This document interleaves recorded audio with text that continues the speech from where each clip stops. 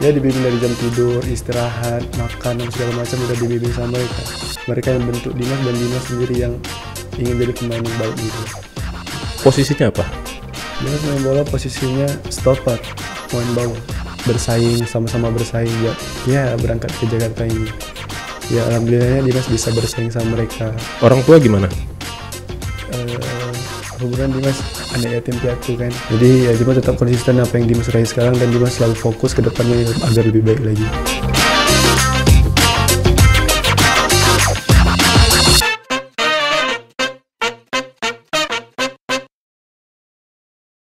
Dapat informasinya pada hari Jumat pas Dimas lagi di Batam. Itu situasinya pas Dimas selesai turnamen futsal tuh kan? Pagi-pagi sekitar jam 7 pagi sampai jam 9 Dimas ditelepon ditelepon langsung sama Pak Memfrizon dan dia ngasih kabar kalau Dimas Pak Mefrizon itu siapa? Pak Memfrizon tuh eh, dia eh, asisten Kemenpora kalau nggak salah Asisten Kemenpora ya sekarang. Mhm. Dulu Kadispora ya di Iya, sini. Dispora ya. dia. Ya dia ditelepon Dimas dan dia ngasih tahu kalau Dimas kepanggil buat seleksi timnas U16 di Jakarta nanti. Dipanggil eh, dikirimin ininya suratnya. Eh, pas hari Jumat itu belum dikirim dan dia Baru bilang telepon aja? ditelepon aja dia bilang suratnya nyusul dia bilang tapi dia itu di, eh, pas hari Jumat itu dia nyuruh persiapkan diri dulu sampai hari hanya nanti berangkat ke Jakartanya dia suruh persiapkan diri dari mental fisik dan semuanya Dimas eh, dipanggil eh, pelatnas itu sebelumnya berarti udah ngikutin dulu eh, seleksi di daerah ya. Iya di daerah Di Batam itu eh, di seleksi kotanya itu kapan? Tingkat kota kabupaten. kalau nggak salah bulan Juni di tingkat provinsi bulan Juli gitu. Oh, ju- 2021 semua ya. ya 2020 semua. Yang provinsi kemarin? provinsi kemarin ya kemarin bulan Juli itu ya ada pemantauan langsung dari PSSI Di mana? turun ke Kepri di Stadion Dompa gitu. Stadion Dompa ya. Iya. Berapa pesertanya waktu itu?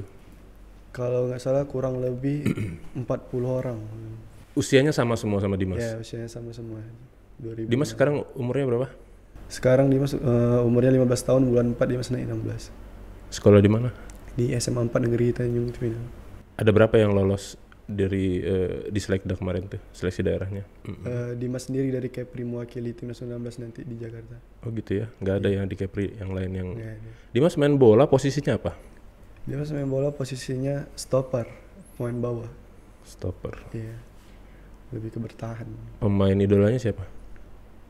Kalau di luar negeri Dimas mengidolakan Sergio Ramos di sini. Sergio Ramos. Iya, karena dia punya mental yang kuat, Mm-mm. keras dalam bertahan bola gitu. Kalau di Indonesia ada? Kalau di Indonesia Dimas lebih dulu mendominankan ke Gonzales. Walaupun di kami eh, Dimas beda posisi sama dia, tapi Dimas pengen seperti dia. Diundang ke Jakarta, eh, gimana persiapan Dimas Ya persiapan, persiapan untuk Dimas. eh, platnas ya, ya untuk platnas. Timnas Semuanya dari fisik gimana? Ya kalau ke fisik insya Allah Dimas sudah siap dari mental, dari segi apa pun insya Allah Dimas siap buat bertarung di sana. Mm-mm. Buat ya bersaing lah sama pemain-pemain yang di luar sana. Yang dipanggil ada berapa orang itu? Ada kalau nggak salah 35 orang di 35 orang ikut eh, seleknas jatuhnya ya. Ke TC. Oh TC ya, TC. jadi eh, platnas ya. Iya. Hmm. Terus eh, persiapan selain fisik, eh, mental, itu biaya siapa yang nanggung kalau undangan eh, apa ikut platnas seperti itu? Oh, itu kan eh, saya dapat informasi dari Pak Mefrizon Mhm. bahwa surat itu kan eh, dapat pribadi tidak dari pemerintah. Jadi Dapat pribadi itu maksudnya gimana? tidak ada bantuan dari pemerintah gitu. Dari dikasih Oh pribadi. untuk Dimas pribadi, Iya, Mm, mm, mm. terima pribadi dan ya tidak dari- mewakili daerah gitu tidak, maksudnya? Tidak mewakili daerah, tapi kalau saya berharap lah pemerintah bisa membantu saya dari apa pun. Soalnya semuanya tuh saya lakukan sendiri dari berangkat ke bandara sampai ke Jakarta, ke Betul, Jakarta, mm. ke hotel tuh pun harus sendiri. Hmm, hmm, hmm. Oh nggak ada antar jemput apa segala macam ya? sama sekali. Oke, padahal ikut eh, apa namanya seleksinya di di Kepri ya. Iya, Dan di Dimas ini kelahiran eh, Kepri, kelahiran Iya. Dimas kelahiran mana? Dimas lahir di Kepri tahun 2006. Dimas. Di, Di Tanjung Pinang. Tanjung Pinang ya. Iya. Dimas sekarang tinggal di mana? Tinggal di Batu Lapan di Jalan Salam Kampung Kolam. Orang tua gimana? Eh, hubungan Dimas anak yatim piatu kan. Yatim piatu ya. Iya, yatim Hmm. piatu. Eh, jadi Dimas di rumah tinggal sendiri ya Dimas punya om sama tante tante yang selalu support Dimas selalu doain Dimas ya Dimas selalu sama mereka selalu Atlet itu kan harus disiplin ya, Iya, betul. jaga badan, jaga porsi makan ya porsi makan, sudah gitu bangunnya nggak Iya. boleh begadang apa Iya, segala macam. Siapa yang bimbing Dimas sampai Dimas eh, apa namanya bisa bisa jadi atlet yang ya punya standar lah. Kalau udah lolos di provinsi kan berarti dibanding kawan-kawan Dimas seusia Iya. Dimas kan mungkin standar fisik Dimas jauh lebih baik atau gimana? Siapa tuh? kan karena Dimas kemarin pernah masuk eh, jebol di PPLP Mhm. jadi Dimas dibimbingnya dari PPLP itu dari pelatih pelatih pusatnya dari ya dibimbing dari jam tidur istirahat makan apa segala macam udah dibimbing sama mereka mereka yang bentuk Dimas dan Dimas sendiri yang ingin jadi pemain yang baik gitu Oke, jadi orang tua nggak ada itu sejak Dimas usia berapa? Sejak Dimas usia 2015 kalau nggak salah kemarin. Tua. Mhm. kalau bapak dari kecil kalau mama meninggal 2015 saya aja cukup bangga ada Dimas yang bisa dipanggil ya. Terlepas nanti lolos nggak lolos itu aja sudah eh, satu kehormatan. Dimas berangkatnya kapan sih? Kalau nggak ada halangan besok udah berangkat. Besok udah berangkat? Udah, besok udah berangkat. Sampai detik ini belum ada? Belum ada.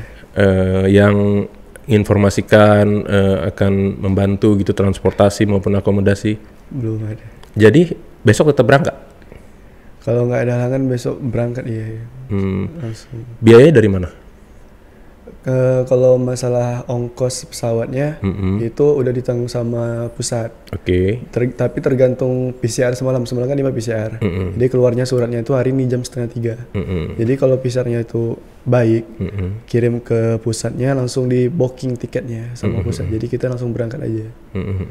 Tapi yang masalahnya tuh udah sampai ke sana Mm-mm. kita kan nginap di hotel dulu semalam Mm-mm. nah, ke hotel itu kita nggak tahu pakai apa jadi pribadi sendiri mau gimana tapi eh, kita dapat bill dan apa yang kita keluarkan duit ini bakalan diganti sama di pusat Hmm, persoalannya eh, Dimas nggak pegang uang untuk Iya, itu ya. betul.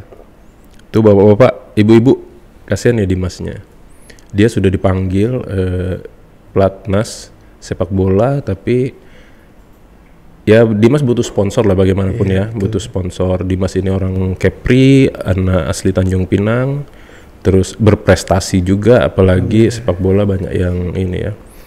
Eh, Dimas eh, apa yang membuat Dimas itu eh, apa namanya kuat untuk tetap berlatih sepak bola eh, ketika orang tua itu udah pada nggak ada. Biasanya kan anak itu suka pengen nunjukkan sesuatu ke orang tua ya. Lagi menang, eh, udah gitu bisa ngalahin tim hebat. Biasanya kan senang tuh. Kalau Dimas apa yang bikin Dimas tetap masih konsisten? Iya karena Dimas juga eh, punya adik-adik kan Dimas eh, walaupun nggak punya orang tua tapi Dimas punya masih punya tante punya penjual tapi Dimas tahu walaupun Dimas nggak punya orang tua pasti orang tua Dimas bangga sekarang sama Dimas yang Dimas capai sekarang Amin, amin, amin. Hmm. Ya, intinya walaupun Dimas nggak ada orang tua, Dimas tetap yakin orang tua Dimas itu selalu ada di samping Dimas. Jadi ya Dimas tetap konsisten apa yang Dimas raih sekarang dan Dimas selalu fokus ke depannya agar lebih baik lagi. Cita-cita Dimas apa? Cita-cita Dimas ya ini ya yang sekarang Dimas impikan ya ini Dimas pengen bawa eh, Indonesia ini baik di mata dunia Hmm. dalam sepak bola ini. Lolos ke tim nasional, bisa bawa Iya. Indonesia eh, apa namanya bersaing ya di Iya bersaing di Asia dunia. atau syukur-syukur Iya betul. syukur-syukur Piala Dunia ya generasinya apa namanya generasinya Dimas. Dimas eh, hobi Dimas apa sih? Iya hobi Dimas sepak bola ini. Sepak bola itu aja. Iya, banyak Dimas hobi ya seperti Mm-mm, takraw, mm-mm. atau segala macam. Mm. Insya Allah Dimas bisa olahraga semua, tapi ya itu hanya sekedar eh, isi-isi waktu luang aja. Tapi Dimas lebih fokus ke sepak bola. Jadi atlet itu eh, ada pantangan-pantangan nggak makan? Iya banyak sekali Hmm, pantangan Apa aja? Iya, Kalau bola apa aja? dari samba. Apalagi stopper ya kayaknya posisinya Iya. stopper ya. Iya stopper. Kalau posisi stopper tuh kayaknya body harus Iya Kuat ya? harus kuat. Ini pokoknya dari postur badan, dari kekuatan otot, kelincahan itu harus ada semua untuk stopper. Ya kalau masalah porsi, porsi makan tuh dari sambal itu harus dijauhin. Mm-mm. Bermi- makanan yang berminyak-minyak, makanan berminyak. makanan instan seperti ya mie itu harus Mm-mm. dijauhkan dulu. Ya kayak ya just juice just juice makanan yang enggak yang Iya, pokoknya iya. yang instan instan tuh harus dijauhkan dulu. Mm-mm. Udah pernah disonding belum ke pemerintah ke mana? eh, dispora gitu. Dispora ya, dispora Iya, apa Dimas namanya? sempat ngirim juga itu eh, ke pengurus PPLP dan pengurus PPLP pun ngirim itu ke kantor Hmm, hmm, hmm. dan ya cuman dapat tanggapan aja nggak ini Tanggapan doang. Tanggapannya apa? ya tanggapannya seperti selamat mas kalau udah ini semoga sukses selalu apa segala macam udah gitu Oh gitu ya. iya Cuma eh, ngasih Ya, tanggapan gitu gitu. aja ya. Nggak ada apa namanya ditanya gitu kebutuhannya apa? Nggak ada ya? belum lah kayak belum kayak nyusul atau apa dia nggak tahu juga tapi sekarang belum Tapi semuanya ditanggung ya. Berapa lama itu? Eh, eh, apa namanya? Pelatnasnya itu? eh saya sih apa tesnya itu kalau di dalam surat dari tanggal 2 sampai tanggal 12 itu di sana 2 eh, Maret 2 2 April Eh, eh, dua- 2 2 Maret 2 Maret ya ah ya 2 2 Maret, Maret sampai tanggal 12 12 Maret 12 Maret ya dalam situ gitu jadi eh, dua minggu itu ya? Iya dua minggu selama 10 hari gitu itu tim yang dipersiapkan buat apa? Buat AFF kalau nggak salah. Oh AFF ya? Iya. AFF U16 AFF U16 iya. Dimas kenal sepak bola dari usia berapa? Sebelum Dimas masuk ke sekolah SD itu Dimas sudah tahu namanya sepak bola soalnya pernah main sama teman-teman di kampung. Mm-mm. ya main-main biasa-biasa aja. Itu belum tahu tuh kalau sepak bola bisa menghasilkan uang atau Hmm, apa atau hmm. prestasi. Mm. ya cuma main-main biasa-biasa aja. Dan pas Dimas masuk ke kelas 6 SD kelas 5 SD Dimas udah sempat diajak SMP 6 main ikut eh, ini Piala Kemenpora. Kelas 5 SD udah ikut SMP main ya dari situ Dimas baru tahu kalau sepak bola tuh SD udah dibawa sama tim SMP ya? Iya, udah bawa jadi tim SMP. karena ada kelebihan ya? Iya. Mm-mm. udah dibawa di situ. Ya Dimas baru tahu kalau sepak bola tuh eh, permainan yang indah gitu yang bisa ya bisa mengumpulkan prestasi atau apa gitu. Dari situ Dimas minat dari sepak bola. Ada momen-momen tertentu nggak yang bikin Dimas itu jadi jatuh cinta sama sepak bola?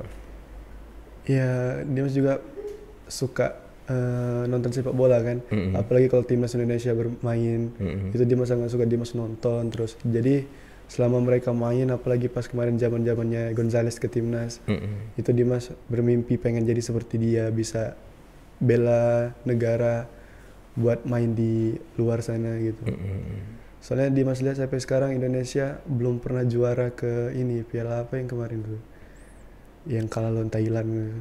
AFF Iya belum pernah juara Dimas berharap Dimas main di situ Dimas ingin bawa Indonesia juara amin di situ. amin amin amin klub favoritnya Dimas apa oh, di Eropa Dimas lebih ke dominan ke Barcelona soalnya kemarin Barcelona. Barcelona ya klubnya yang unggul kan idola Sergio Ramos Sergio tapi Ramos, iya. klubnya sukanya Barcelona Iya Barcelona. Soalnya suka permainan mereka. permainan ya Ya, permainan timnya mereka, itu ya luar biasa bagi Dimas mereka main. Dimas sudah tahu belum yang Tiki Taka eranya era-era Tiki Taka awal-awal zaman Xavi Hernandez, zaman Oh, belum. Andres Iniesta. Si zaman-zaman Puyol Dimas belum itu. Eh, itu Dimas masih kecil ya. Ya masih kecil itu. Tapi pernah nonton videonya kan Ya, mungkin di pernah. YouTube atau apa ya. Pernah. Tiki Taka seperti Iya, apa ya. Termasuk biasa bagi Dimas ya. peran center back juga membantu Iya, serangan betul. ya. Jadi ya mungkin orientasi itu ya orientasi menyerangnya ya, yang yang bisa kita Eh, harapan Dimas ke pemerintah. Harapan, Mm-mm. ya harapan Dimas. Ya karena Dimas tahu sendiri kan Dimas Mm-mm. eh, kondisinya begini ya. Dimas berharap ya ada bantuan buat Dimas agar Dimas lebih mudah buat jalanin ini semua ke Jakartanya sampai ke tempat latihan. Dimas berharap itu yang penting Dimas sampai ke tempat latihan dan Dimas sendiri yang berjuang di sana. Dimas cuma minta doa dan supportnya aja. Dimas ini saat ini jadi sendirilah ya berjuangnya ya. Iya. Hmm? Siapa yang bantu ini? Eh, ya mungkin tetap butuh butuh Dimas butuh dana juga untuk di sana. Iya, pasti butuh dana. Soalnya Dimas dapat eh, dapat berita kalau di sana tuh ya memang sulit lah buat beli beli makan. Soalnya Dimas kan nggak tahu di sana kan gimana gimana kan. Hmm. Udah pernah ke Jakarta tapi Alhamdulillah pernah kemarin. di mana nanti di sana sendirian atau atau gimana? Ada yang dampingin? Kalau bisa ya didamping lah. Soalnya Dimas nggak tahu di sana gimana. Ada yang udah mau mendampingi atau gimana? Udah ada yang mendamping tapi tinggal ya tinggal cari ya sponsor atau apa gitu ya. Iya ya karena butuh biaya ya. Soalnya ke sana butuh biaya atau apa. Oke Dimas bisa eh, lihat surat undangannya dari apa namanya eh, timnas. Oke ada logo PSSI-nya, pemanggilan pemain tim nasional sepak bola U16 Putra Indonesia kepada saudara Dimas Dinanda. Kalau ngeliat logo PSSI ini kayaknya agak gemetar ya, agak bergetar ya, Hah? agak bergetar apalagi nama kita disebutin. Dengan hormat sehubungan dengan persiapan tim nasional sepak bola U16 Putra Indonesia untuk mengikuti AFF U16 Championship 2022, PSSI akan melakukan pemusatan latihan pada tanggal 2 sampai 12 Maret 2022 di Jakarta.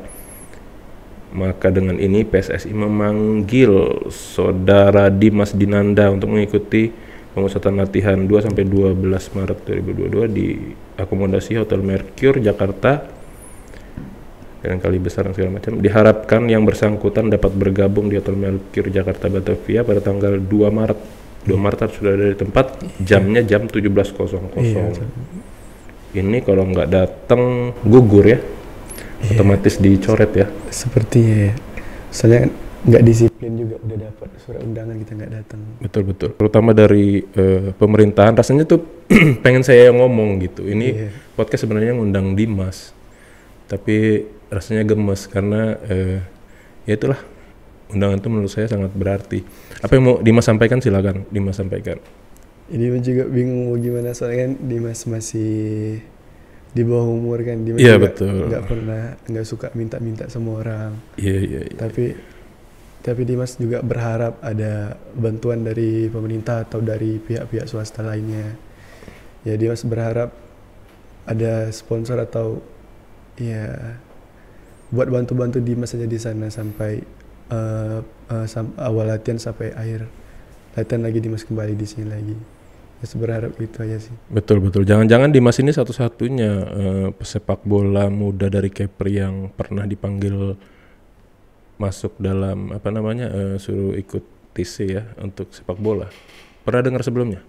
Eh, kalau Dimas dengar kalau U16 insya Allah Dimas sendiri kalau U19 Mm. dan U18 pernah senior Dimas dua orang ikut seleksi kemarin di Mm. timnas pelajar U18 Mm. itu turnamen Asian School kalau nggak salah itu dari Kepri dua orang yang jebol cuma satu Eh, lalu kalau Dari Tanjung Pinang juga?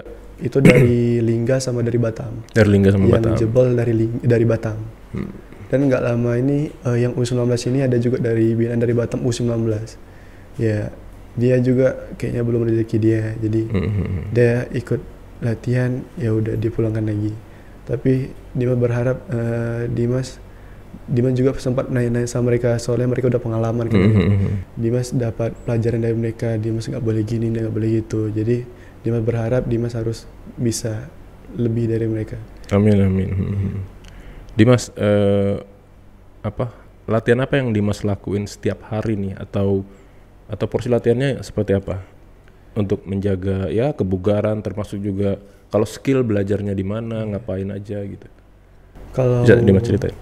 kalau masalah eh Dimas dibentuk sepak bola ini pasti ya dari PPLP soalnya Dimas di PPLP tiga tahun dan Mm-mm. Dimas Dimas dibentuk di situ dari segi fisik Mm-mm. dari ya eh, eh, postur tubuh atau apa udah dibentuk di sana semua tinggal kan eh, PPLP ini udah nggak ada dari tahun 2022 kemarin bulan awal Mm-mm. Nah, itu Dimas latihan sendiri itu Dimas latihan ya jogging Dimas main skipping power sendiri Mm-mm.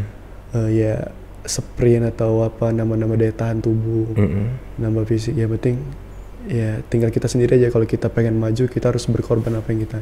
Untuk teknik-teknik kalau untuk teknik-teknik ya alhamdulillah ada eh, beberapa course yang bantu saya dari skill dari passing long pass Hmm. atau skill-skill yang lainnya Mm.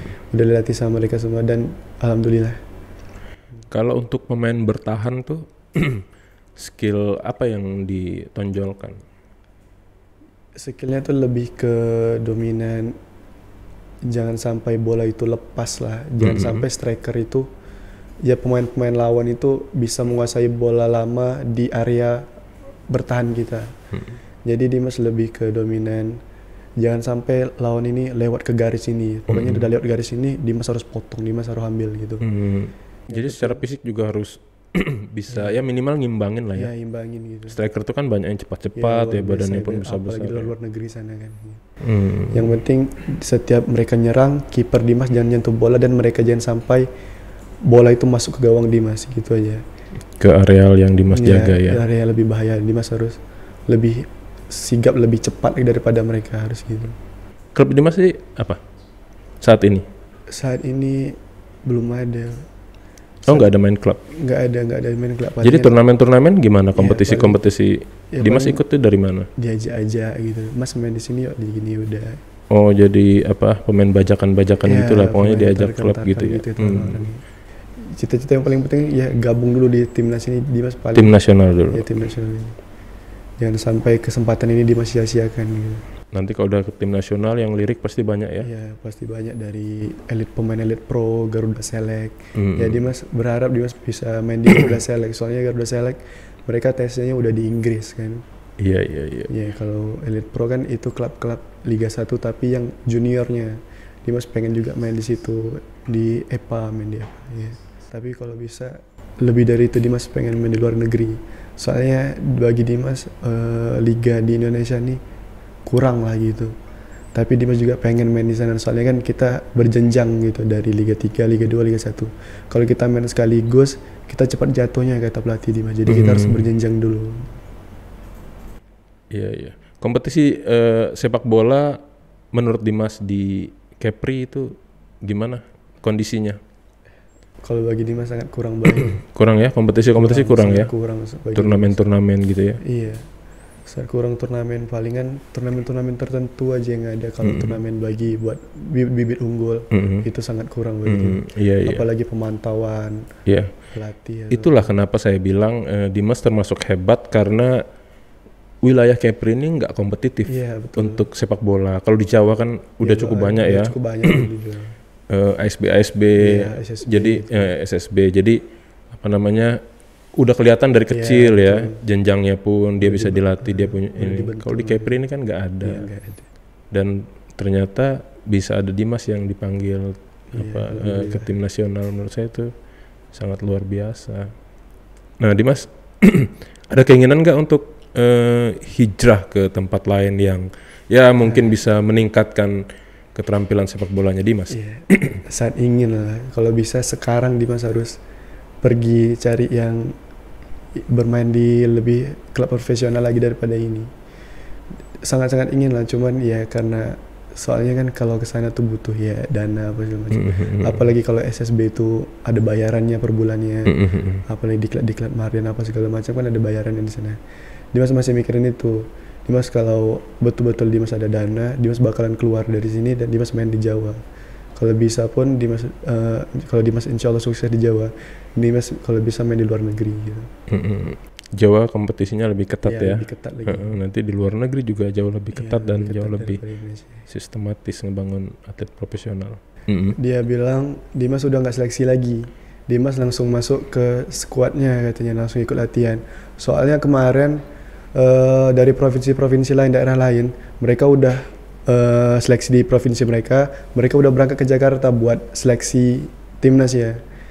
Eh, karena Kepri ini kurang ini yang tadi saya bilang kurang sepak bolanya, kurang sepak bolanya jadi Kepri ini telat buat seleksinya itu. Jadi eh, Terlambat juga datanya Terlambat, ya. masuk ke mereka ya. Ya Pak Mefrizon ini langsung hubungi orang PSSI kalau Kepri ini pengen seleksi juga. Jadi mereka datang langsung ke Kepri buat mantau. Mhm. Ya alhamdulillah Dimas terpantau sama mereka dan Mm-mm. Dimas langsung ikut latihan mereka. Soalnya mereka sudah ada timnya itu udah dibentuk pemain-pemainnya. Dimas langsung gabung ke tim mereka katanya begitu. Oke, Dimas kemarin seleksinya yang di Dompak itu ngapain aja? Ya lebih banyak main di game sih, main di Game. ya main dua gitu. Dia mau ngeliat gameplaynya Dimas Ya, gimana ya, visi Dimas dalam gimana, pertandingan gitu-gitu ya. Kalau fisik tuh belum dicoba, tapi kalau Mhm. lebih banyak ke game lah soalnya permainannya gimana visi Mhm. mainnya Mhm. ya. Berapa yang kemarin ikut eh, selekdanya itu? ya sekitar 40 orang 40 orang ya, ya kurang lebih 40 orang ya Dimas Dimas bersaing sama mereka semua, bersaing dari segi fisik mental. Itu random berarti ya ada striker, Ya, ada random. gelandang, ada pemain sayap. Ya, apalagi dari jauh-jauh dari Natuna, Anambas, dari Karimun, dari Batam datang ke sini semua kan, buat bersaing, sama-sama bersaing buat ya berangkat ke Jakarta ini. Ya alhamdulillahnya Dimas bisa bersaing sama mereka dan alhamdulillah Dimas juga terpantau dan terpanggil di sana. Terpilih, iya Dimas dipilih kan karena ya sesuai standar lah berarti. Iya, Mereka punya alhamdulillah. standar sendiri kan. Iya. Eh, scouting talentnya itu ya, Iya, betul. scouting talent tim nasional. Oke Dimas, eh, mudah-mudahan Dimas diberi kelancaran. Amin ya Allah. Eh, ada yang mau disampaikan nggak ke kawan-kawan Dimas atau anak-anak muda yang lain? Dimas menurut saya sih bisa menginspirasi Iya. karena usianya masih muda, 15 tahun. Silakan Dimas. Ya pesan dari saya buat anak muda di sana jangan cepat putus asa gitu dari apa yang ngasih. Walaupun kalian kalian ini masih muda, jadi kalian masih ada kesempatan buat main di mana pun yang kalian mau. Jadi jangan putus untuk berlatih, tetap latih lebih keras lagi. Jangan kebanyakan anak muda sekarang nih ya banyak bergaul yang enggak enggak itu ya, seperti Iya, iya, rokok iya. atau begadang, balap-balapan. Mhm. Ya kalau bisa kalian jauhkan itu semua karena Salurkan kalian ke positif iya, ya. kalian anak anak bangsa gitu. Kalian masih bisa banggakan nama bangsa kalian itu bangsa Indonesia gitu.